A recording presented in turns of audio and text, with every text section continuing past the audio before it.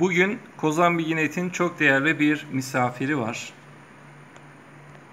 Görev yaptığı yerlerde vatandaşlar tarafından her zaman beğenilen, takdir edilen, özellikle Tufanbeyli'de efsane müdür olan tanım, olarak tanımlanan bir müdürümüz var. Sayın müdürüm hoş geldiniz. Hoş bulduk.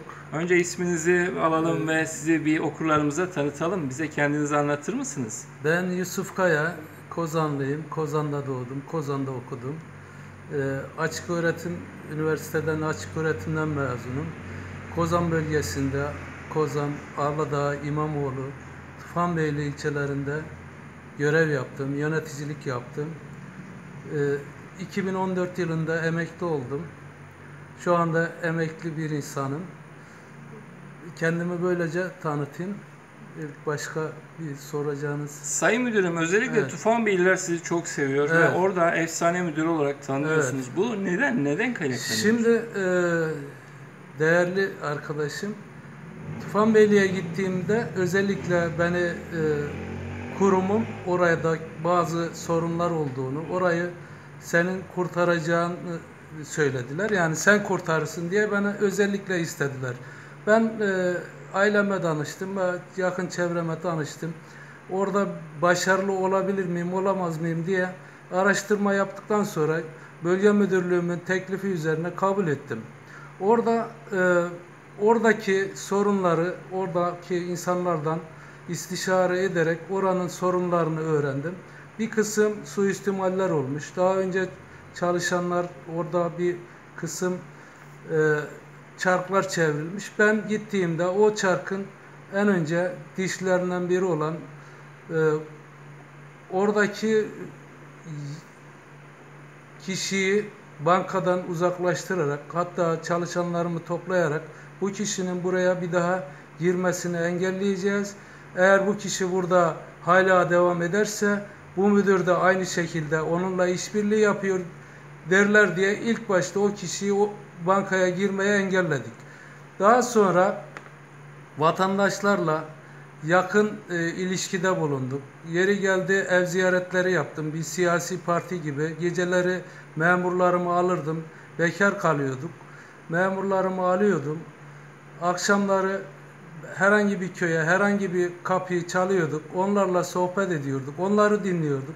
Ondan dolayı vatandaşlar hatta oranın e, üst düzey yöneticileri bir zaman Kozan'ın efsane müdürü olarak bizi lanse etti. Tabii burada birçok kişi vardı. Buna da şahit oldular. Bu şekilde söyleyebilirim. Yani birçok müdür Evet. insanları böyle ayağında karşılarken siz Evet. insanların Tabii. ayağına gittiniz. E, aynen, Onları aynı onurize şekilde. ettiniz.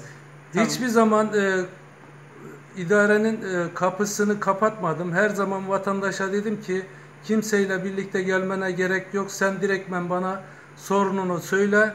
Ben senin sorununu dinleyeceğim. Bir birileriyle yani bir e, torpil e, yapacak kişilerle gelmene gerek yok. Kapım her zaman herkese açık dedim ve kimseye kapımı kapatmadım. Ondan dolayı oralarda biz yani halkın ve e, insanların tabiriyle efsane müdür olarak biliniyoruz. Bundan da ben gurur duyuyorum. Ailem de benden gurur duyuyor. Her zaman aranan, sevilen, sayılan bir kişi olduk Allah'a şükür. Gittiğimizde hala emekli değil de hala görev yapan bir idareci gibi bize saygı gösteriliyor, sevgi gösteriyorlar. Ondan dolayı kendimle de gurur duyuyorum. Sayın müdürüm biz sizin görev yaptığınız yıllarda Evet.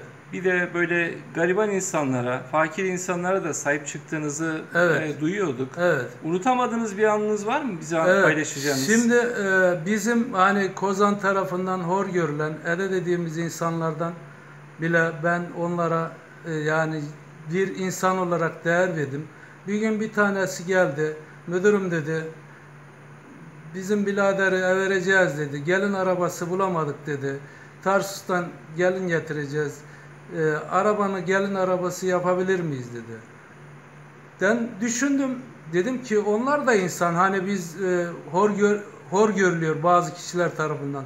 Ama ben hiçbir zaman hiçbir insana ırkından, soyundan, meşrebinden dolayı hor bakmadım. Onların da insan olduğu, Allah'ın yarattığı bir kul olduğunu düşünerek kabul ettim. Sabah saat 6'da buradan gittik. Tersus'a gidek dedi. Ben de dedim gidelim Tersus'a dedim. Gittik. Onlarla birlikte orada düğünlerini izledik. Kozan'a gelin getirdik. Geldiğimizde biraz izledikten sonra e, ben dedim bana müsaade düğününüz hayırlı olsun Allah mesut bahtiyar etsin dedi. Ben de e, elini cebine attı. Ben dedim ki hayır ben dedim bunu sen Allah için yaptım dedim. Sen bir de bayrağımıza olan sevgisini orada gösterdiler. Bayraksız olmaz dediler. Yani arabaya bayrak as- asmak istediler. Ben de onu e, öğrenince daha çok onlara karşı sevgi besledim ve hiçbir menfaat beklemeden Tarsus'tan gelin getirdik kendilerine. Sayın Müdürüm emekli olduktan sonra şu an Kozan'da yaşıyorsunuz. Ee, ne yapıyorsunuz? Kozan'da hayatınız Vallahi- nasıl geçiyor? Vallahi emekli olduk. Si- Siyasi partide e, görev aldık. Şu anda ilçe yönetim kurulu os- ola- görevlisi AK Parti olarak- Kozan Evet. İlçe Yönetimi. Evet, AK Parti ilçe yönetim kurulu üyesiyim. Yani sahada e, insanlarla birebir çalışıyoruz. Yani onlarla dinliyoruz, onları ziyaret ediyorum. E, yani seçim zamanları dışında da e, ziyaretler yapıyoruz. Garip kurabanın derdini dinliyoruz. Yetişebildiğimiz kadarla, dertlerine derman olabildiğimiz kadar yapmaya çalışıyoruz gücümüz nispetinde. Yani siyasi e, parti görevlisi olarak şu anda bir görev ifa ediyorum. Başka da herhangi bir işle iştigal etmiyorum. Yani ileride ne olur ne getirir bilemiyoruz ama Rabbimiz e, bize ne e, kapı açarsa o kapıdan girmeye hazırız. Evet Sayın Müdürüm bu nazik ziyaretiniz için çok teşekkür ediyorum. Rica ederim. Ben de sizlere teşekkür ediyorum. Kıymetli okurlarım bugün e, çok değerli bir konuğumuz Kozan Bilginet'i ziyaret etti. Eski banka müdürlerimizden, Ziraat Bankası müdürlerinden şu an emekli ve Kozan AK Parti İlçe Yönetim Kurulu üyesi Yusuf Sayın Kaya. Yusuf Kaya Bey e, çok teşekkür ediyoruz. Rica Bundan ederiz. sonraki hayatında, görevlerinde Biz başarılar de diliyoruz. size hayatınızda, hizmet hayatınızda başarılar dileriz. Teşekkür ederiz.